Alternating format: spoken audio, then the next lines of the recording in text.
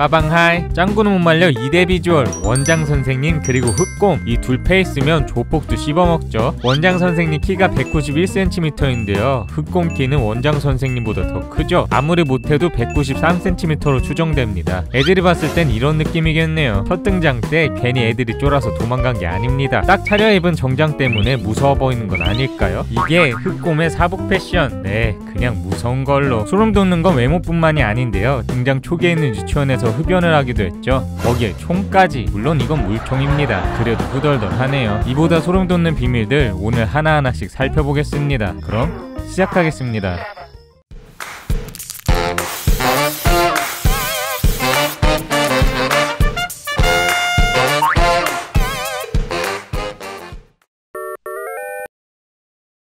흑곰이 단순한 수지 보디가드냐고요? 아닙니다. 사실상 보호자나 마찬가지인데요. 평소에도 리무진을 직접 운전해 유치원까지 데려다주고 24시간 365일 수지에게 착붙 보호하죠. 문제는 이런 일만 하는 게 아니라는 건데요. 스케줄 관리, 수지 전용 화장실 관리, 수지의 첫 심부름 관리, 강아지 입양, 리얼 소꿉놀이 세트장 설치 등 잡일에 심지어 소코비 코스프레까지 해서 짱구 납치까지 온갖 잡일과 허드렛 일을 다 하죠. 가끔은 허당으로 보여도 세계적인 부자의 외동딸을 1대1 전담 마크하는 경호원이므로 여러 방면에서 상당한 실력자입니다. 주특기는 은신으로 주로 유치원 하단 풀숲에 은폐하고 있다가 무슨 일이 생기면 언제 어디서든 나타나 구해주는데요. 덕분에 수지는 털끝 하나 다친 적이 없죠. 수지의 첫 심부름 편과 꼬부기를 찾아라 편에서는 대규모의 경호부대를 이끄는 팀장급으로 나오는데요. 이렇게 능력자임에도 불구하고 수지에게는 거의 착지당합니다. 선글라스에 얼룩이 조금 묻었다고 간식 밤양갱에서 밤을 빼고 준다고 하질 않나. 자기 다시마 젤리를 먹었다고 하루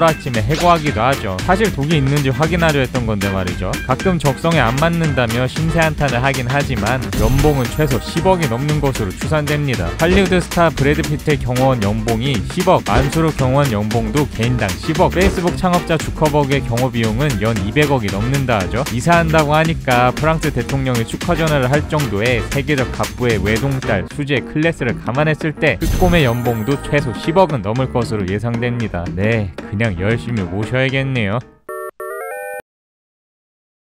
흑곰이 쉽게 수지에게서 벗어날 수 없는 이유는 높은 연봉만 있는 게 아닙니다. 수지에게 책 잡힌 게 많아서 그런데요. 수지 집에 피해를 입힌 금액만 몇 억이 될 것으로 추산됩니다. 배팅 연습하다가 동상을 부시질 않나, 서재에 있는 도자기를 깨트리질 않나, 마당에 있는 소나무 가지를 부러뜨리질 않나, 사슴 장식을 부숴버리질 않나, 동상도 비싼 건 몇 억대, 도자기도 몇 천만 원대 하는 걸 보면 피해액만 억대가 넘어가는 걸로 추정할 수 있습니다. 이뿐만 아니라 응접실에 있던 고대 갑옷을 몰래 입어보기도 하고 할머니가 아끼는 페르시안 고양이를 밟기도 했습니다. 예전엔 캠코더로, 요즘엔 아이패드로 시대의 발전에 발맞춰 매번 걸리죠. 손에 닿는 건 다 부서지는데 찐 경호원 맞는 것 같네요.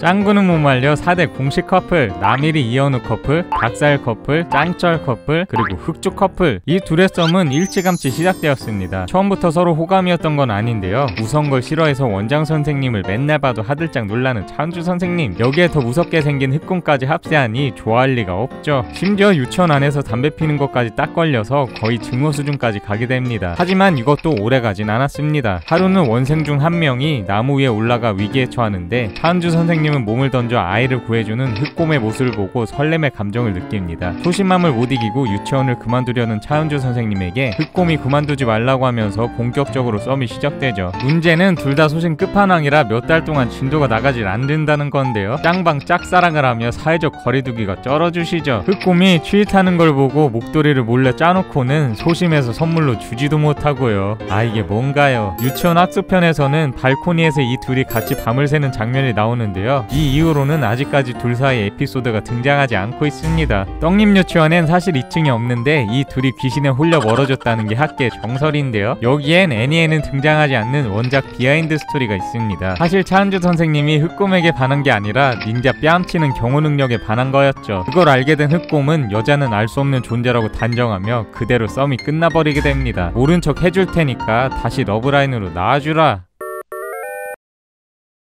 흑곰과 차은주 선생님이 이루어질 수 없었던 결정적 이유는 하나가 더 있습니다. 바로 흑곰의 특이 취향. 우리의 갓곰은 떡잎 유치원 아이들이 위험에 빠지면 맨날 구해주죠. 한 번은 유리가 다쳤을 때 흑곰이 치료를 해줍니다. 금사빠 유리는 그 자리에서 한눈에 반하고 짱구에게 러브레터를 배달시키는데요. 이게 웬걸 받는 사람 이름을 적지라는 거죠. 짱구가 준 줄 알고 이상하게 심쿵한 흑곰. 마성의 짱구는 여기서 멈추지 않고 꽃 배달까지 이 콤보로 흑곰의 마음은 혼비백산이 됩니다. 물론 마음을 받아 줄 수 없다며 마무리되고 해프닝으로 끝나는 듯 했지만 최근에 특이 취향이 의심가는 사건이 하나 더 있었죠. 수지가 어쩌다 아이돌 헬시보이 팬미팅에 가게 되는데요. 흑곰이 아이돌 헬시보이 멤버 이상진의 덕후였습니다. 장덕후도 아니고 완전 찐덕후요. 알고 보니 회사 돈으로 CD 사고 덕질까지 하고 있었던 겁니다. 이상진을 실물로 영접하면서 귀까지 빨개지면서 설레하는데요. 그만 무섭나요? 수지가 콘서트에서 깽판만 안 쳤어도 끝까지 보고 가는 건데 아쉬울 따름입니다. 흑곰 의심해볼만 하네요. 비가 오나 눈이 오나 늘 제자리인 선글라스. 사실 선글라스가 아니라 그냥 눈이 아닐까 하는 킹리적 가심. 비랑 연결되는 부분도 없어서 더 의심스러운데요. 하루는 흑곰의 쌩얼이 궁금한 떡잎말 방범대가 선글라스 벗기기 대작전을 펼치는데 실패 실패. 마지막엔 가까스로 성공하나 했더니 그 짧은 순간에 예비 선글라스로 갈아 꼈죠. 심지어 이 선글라스에는 야간 투시 기능까지 있습니다. 선글라스를 벗으라는 수제 명령도 무시하는데요. 왜 이렇게 선글라스에 집착하나 궁금 했는데 경호원은 신분이 노출되면 안 된다는 이유였습니다. 흑곰의 쌩얼을 본 사람은 아직까지 차은주 선생님밖에 없는데 선글라스를 벗은 모습은 꽤나 미남으로 추정됩니다. 이렇게 이렇게 이렇게 아님 이렇게 음 은근 뭐든 잘 어울리네요. 완결되기 전에 쌩얼 공개 한번 가주세요.